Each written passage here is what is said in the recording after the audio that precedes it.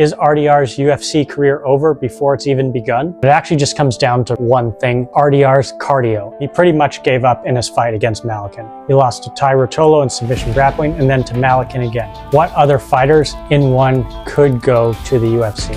I've got one in mind. I think it could be Reinier de Ridder has left one championship and signed with the UFC. I've got a few questions and I'm sure you do as well. Questions like, did the UFC make a mistake? Why did RDR leave one? Will Reinier de Ridder get his ass kicked in the UFC or will he kick some ass? And most importantly, who else from one is going to be leaving for the UFC? I've got some answers, some guesses to all those questions coming right up, so let's get into it. Easy question first, why did RDR leave one championship? Well, the simple answer is there was nothing left for him in one. He had pretty much beat all the fighters in his division, and did so decisively. He beat Vitaly Bigdash, Aung La N Sang, and Fan Rong all in round one with a submission. So RDR had the light heavyweight championship and the middleweight championship belts, but he lost both those belts to Anatoly Malykhin, who is one of the best fighters in the world right now. In fact, some people say he is the best fighter in the world. RDR also had a submission grappling match against Tye Ruotolo and lost that.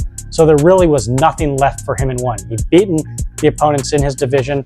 He'd lost two championship belts, both to the same guy. There was nothing left for him in one. And given how decisive Malykhin's victories over RDR were, there was no chance of him ever winning back those belts.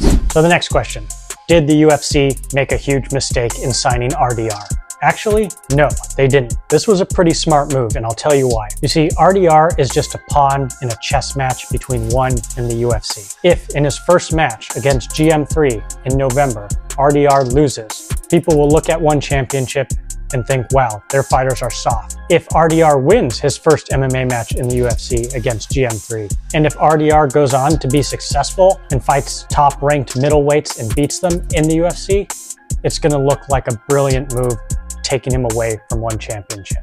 So actually, no matter what happens, the UFC comes out ahead in these scenarios. The worst that can happen is that RDR doesn't win his first few matches and people say, oh, it was just a bad move and he'll be forgotten. So now the question becomes, will Reinier de Ridder kick some ass in the UFC or will he get his ass handed to him? Well, he's going up against Gerald Meerschaert, who has the most middleweight finishes in UFC history. And this should be a very interesting match because both these guys rely heavily on submissions and grappling in their ground game. So the fight could go to the ground very quickly or they could both keep it standing and just trade strikes. Now I could try to analyze this fight, who has the better striking, who has the better ground game, the better fight IQ, wrestling, whatever. But it actually just comes down to really one thing and one thing only, and that's RDR's cardio and stamina. He pretty much gave up in his fight against Malykhin. Look at how that fight ended. Then, just after leaving one championship, RDR fought in UAE Warriors 51. He won, he got a technical knockout against his opponent, but look how he celebrated. Look how he finished this fight.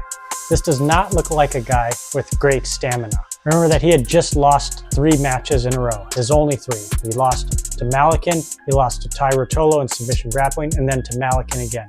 You would think if he just won a match, he'd be pretty excited, but instead, he looks gassed. And he was the one who won the fight.